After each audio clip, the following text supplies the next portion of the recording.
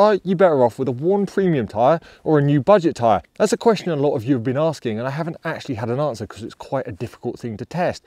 Luckily, Michelin are one of the companies that are pushing the total life performance. They believe a tyre should work as well as it can all the way down to 1.6 millimeters, and they believe they develop their tyres in order to do that. To find out whether this is true and whether a new budget tyre is better than a worn premium tyre, I have a Michelin Cross Climate 2 that's been machined down to around 2.2 millimeters and then driven on the road for 4,000 kilometers, and a brand new Tomket Allyear three. I mean, you can see the difference in tread depth. This is almost at the wear bars. In fact, it pretty much much is on the wear bars here and this is brand new full tread depth. I'm not satisfied with just doing this in the dry or just doing it this wet. As you might have guessed, we are also doing this in the snow. So this should be the ultimate test of whether this can beat this. I'm skeptical, Michelin are confident, all I know is it's going to be a really interesting test. So let's start with snow handling and see whether something with this little tread depth really can dig into the snow or whether this, which is quite a nice meaty chunky tread pattern, will win somehow the near slick Cross Climate 2, the very worn Cross Climate 2, is faster around snow handling than a brand new all season tyre. And it might be a budget all season tyre, but if you've already seen my all season tyre test, if you haven't, go and watch it, it's actually a very good budget tyre in the snow. It beats some premium tyres in snow handling quite convincingly at points. The budget all season tyre did have a little bit too much understeer and it was a little bit vague. Like I said, the levels of grip were fine. They were good. As the pack goes, it was good. And for the price point, excellent. So quite how this worn Cross Climate 2 is faster in snow with no tread. Very few things in tyres surprise me. This is one of them. I thought it would be like water. I thought there would be some tread depth disadvantage because of uh, like like aquaplaning, car lifts up, maybe it would lift up on snow. Now the first time we did this test, it was I would call very stable, very grippy surface. Where we were testing at about minus 20, it hadn't snowed for a few days, the track was nicely packed down. And after doing the test, I just felt a little bit uneasy that I would be giving you false data because it's not often, with an all season tyre especially, it's not often you drive on what is a packed down snow surface regions that get those kind of surfaces are winter regions. However, today's a filming day. Luckily, last night we had a lot of powder come down. So instead of just filming, I've snuck out and I've rerun the program again on what is a quite a nice powdery surface. The track has been prepared, but it's not been packed down like it was when we originally run this. The cross climate is still faster. I came out on the budget all season and I did a 206, a 205.9, a 205.9 my first lap on the Cross Climate 2, the worn Cross Climate 2, was a 205. And then I did a 204.8 and a 204.8. Uh, 204.8. I've just done a 205 talking to you on it without really thinking about what I'm doing. The tyre just feels more positive, especially laterally. It does feel a little bit upset by the brakes. And it does feel, if I'm perfectly honest, once you get into the, the offline powder stuff, it does feel like it gets upset a little bit, but so did the other tyre. So there's no difference there maybe maybe the other tyre was a little bit more positive on brakes, but honestly, it's so close between the two tyres, and you have to think the Cross Climate 2 will have done 40,000 miles or something in the real world to get to this point because it's a tyre that's very long lasting and obviously Michelin are very pro uh, total life performance. I, I have an idea in my head how wet and dry are going to go, but I guess we're just going to have to find out because this has been quite a strong demonstration on how premium tyres can be better, but not all premium tyres. I've also done an exercise this week on how different premium tyres behaviors differ from new to worn. Uh, I'm not sure if it'll be out on the channel yet because we're currently filming in February and this is all going out in October. But if it is, go check it out. If it's not, subscribe, it will be coming out soon. But I'm talking too much as always, so let's move on to wet. Wet handling has shown me at least one thing. I understand a little bit about physics. The worn Michelin Cross Climate, despite its peak, I'm gonna get to that in a second. The worn Michelin Cross Climate, despite its water drop shake grooves, which is a lovely marketing term for grooves that get wider as the tyre wears to give it better performance as it wears, it still had issues with aquaplaning. But I just want to explain how wet handling works in the world of tyre testing. This track is flooded with an average of one millimeter water depth, like consistent water depth. One millimeter of water depth is the equivalent to a very heavy storm on the road. It's an unnatural constant state. It doesn't represent a damp track. Now, you might be thinking, oh, John, you can see you're oversteering everywhere and having quite a difficult time. You must be on the Michelin tyre because it's slower than the budget Tomket tyre. However, I fitted the Tomket specifically to demonstrate lap time isn't always the thing. This budget tyre is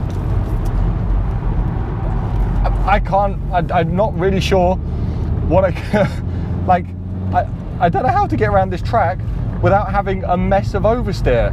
So although I could hustle it around quicker, the difference between the one Michelin and the new budget tyre, when the tyre, when the Michelin was in contact with the surface, I am a thousand percent convinced it had more grip than the budget tyre.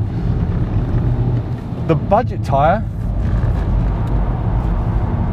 why am I going everywhere backwards in a front wheel drive Golf? It's pretty terrifying. Hold on, let me just hold this together. Oh dear. Actual spin. This isn't fun. The things I do for YouTube. Okay, after that little moment, let's get back to rounding up very quickly so I can take this tyre off. The Michelin might have been a little bit slow around the lap, but I'm 100% convinced that when the tyre was in contact with the surface and it wasn't aquaplaning, which you probably wouldn't be doing on a normal rainy day unless you hit a puddle, it 1000% had more grip. The budget tyre, the lap time doesn't tell the story. The story is you've seen is a very, very difficult tyre to drive. And you could probably argue that you would get to the whatever corner faster on the budget tyre in a very heavy rainfall because you wouldn't feel the aquaplaning and then you'd be in big trouble. And of course, I have the budget tyre here as well in a worn state and I'm going to put all the times on screen to show you exactly how slow that got. So what about the other qualities of the tyres? Starting with dry grip, if you didn't already know, everything else being equal, a worn tyre will perform better as it wears down, i.e. dry grip will increase with lower tread depth. The dry braking results perfectly highlighted this. The worn Michelin stopped the car in 35.2 metres, the worn budget 37 metres, the new Michelin 38.5 metres, and the new budget 43 metres. So if you didn't believe me before that dry grip improved with wear, now you should. Dry handling had a similar but smaller improvement for the worn tyres, with the worn Cross Climate 2 not only being faster than the new budget tyre by nearly two seconds, but also beating its own new time by half a second. Subjectively, things improved too. During the dry handling lap, the worn tyres felt better on the brakes and had sharper steering precision and speed. After driving new tyres all day, it almost felt like a different category of tyre. This is all down to less tread depth, meaning less tread pattern movement, meaning the car steers more quickly and more directly and overall just feels more sporty. This is also often why I get questions asking why the steering feels worse when they've just upgraded their worn tyres to new tyres.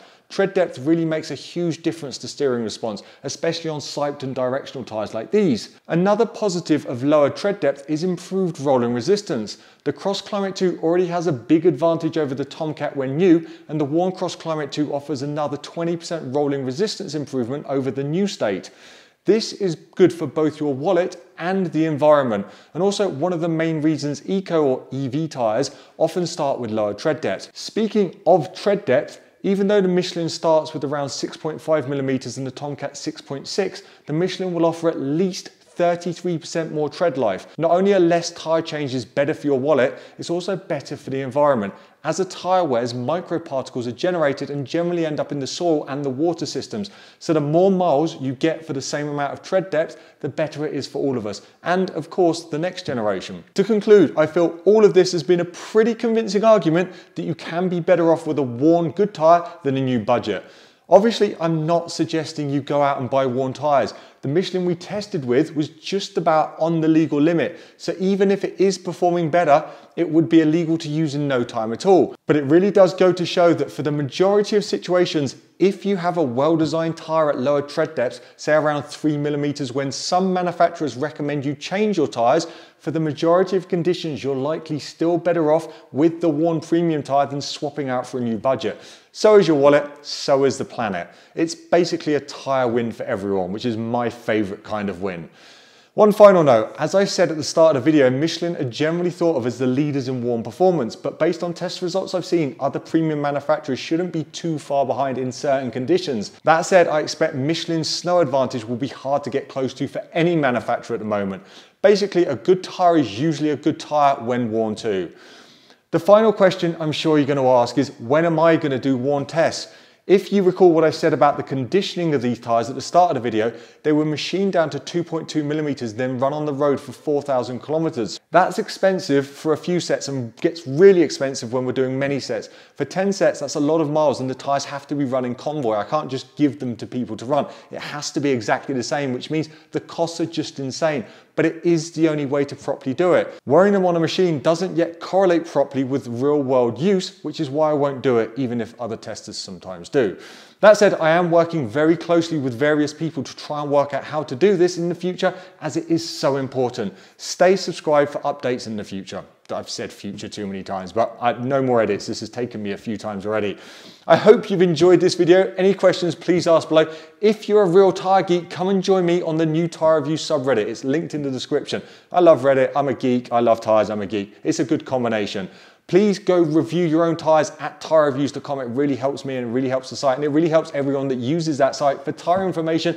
And as always, safe motoring.